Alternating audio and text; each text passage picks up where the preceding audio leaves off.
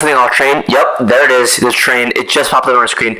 We're gonna check this out, and yeah, so it costs nine robux, and we're gonna do it. And as you guys can see, we do have it in our inventory. Now, I'm gonna open the door and we're gonna test this.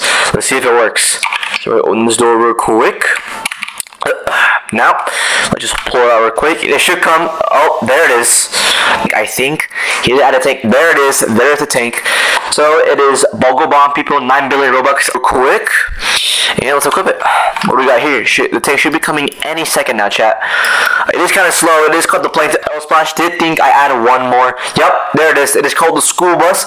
It costs about one quadrillion ballers. Ballers. But anyway, we'll see what happens. So, uh, yeah. Alright, so now we just push that and let's see what happens. Will the bus come in? Oh, shoot. He. Good update, L Splash. Love that. Back to first grade.